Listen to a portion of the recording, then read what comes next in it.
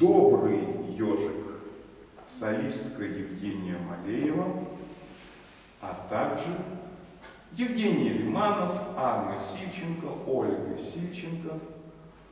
Вот. А